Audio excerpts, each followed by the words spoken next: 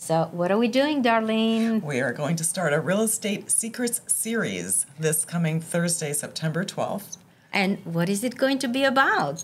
This is going to be about winning buyer contracts. Why? Because of this NAR settlement. So, we're going to be 30 days post NAR settlement. So, we want to talk about how it's going with contracts and your buyers.